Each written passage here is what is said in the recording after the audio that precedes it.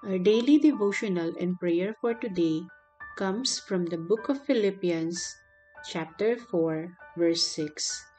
Be anxious for nothing, but in everything, by prayer and supplication, with thanksgiving, let your requests be made known to God. For today's thought, anxiety can ruin a day.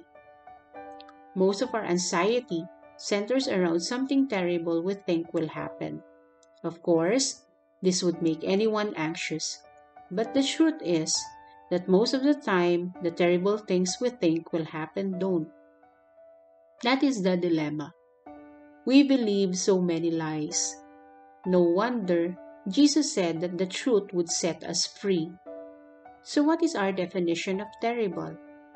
Basically, it is something that we think will be more than we could ever endure. It is a frightful dread. It is beyond human endurance, worse than anything we can imagine. According to William Backus in his book, Telling Yourself the Truth, there are four areas of anxiety. They are fear of losing someone's love, fear of making someone angry or upset, fear of public embarrassment, fear of pain and death. Now Jesus comes along and says, Don't let your hearts be troubled. Apostle Paul writes, Do not be anxious about anything. Backus suggests that you can minimize your fears until you see them for what they are lies, and do not be anxious. So, today, realize that you have a choice and choose not to be anxious. Today, believe the truth that you can trust God and choose not to be anxious. Today, when anxiety comes, know that the terrible dread that it conjures up is a lie and follow Apostle Paul's instruction.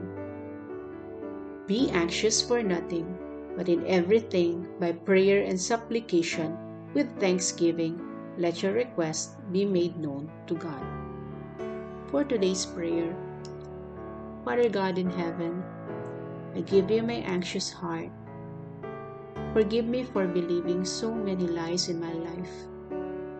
Help me change my core, my beliefs, and bring them in line with your word.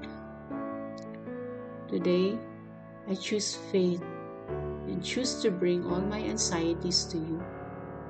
Take them, O Lord. This I pray. In Jesus' name, Amen. The grace of our Lord Jesus Christ be with us all. Amen.